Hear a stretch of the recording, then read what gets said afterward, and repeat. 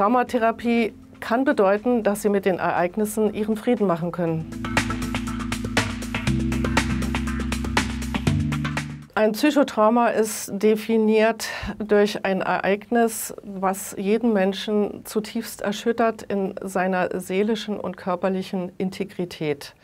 Man unterscheidet sogenannte Man-Made-Ereignisse, das heißt Erfahrungen durch Körpergewalt, aber auch durch seelische Gewalt. Und man unterscheidet die Traumata, die verursacht worden sind durch zum Beispiel Naturkatastrophen, Unfälle oder aber auch natürlich durch schwere Erkrankungen. Man weiß, dass letztere bessere Heilungschancen haben wie die Traumata, die durch Menschen an einem anderen Menschen verursacht werden.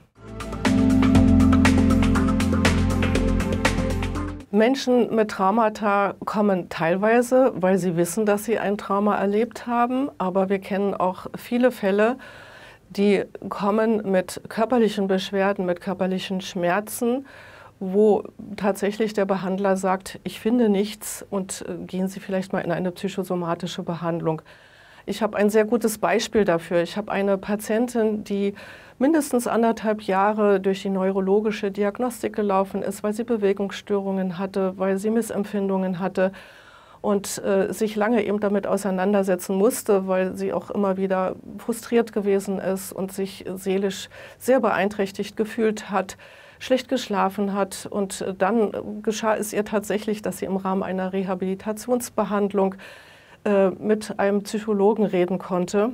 Und da wurde ihr auf einmal bewusst und auf einmal hat sie tatsächlich sogenannte Flash Flashbacks erfahren. Das sind, ist das Bildererleben von äh, ja, Ereignissen, die geschehen sind, die vorher ganz tief im Unterbewusstsein gelagert sind. Ähm, diese Patienten bekommen wir dann und versuchen mit ihnen diese Ereignisse zu sortieren, um sie gut wieder oder zum ersten Mal verarbeiten zu können. Es gibt eine eigentlich tatsächlich standardisierte Vorgehensweise, wie Psychotraumata behandelt werden.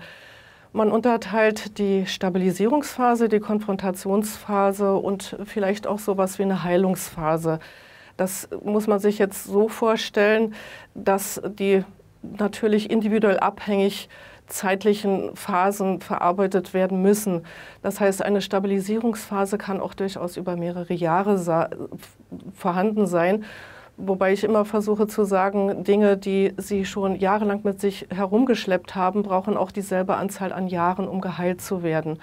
Manchmal schaffen wir es mit dieser Stabilisierungsphase, dass die Konfrontation gar nicht mehr notwendig ist. Und das Ziel ist, seinen Frieden zu machen mit den Dingen, die passiert sind und die man nicht mehr ändern kann.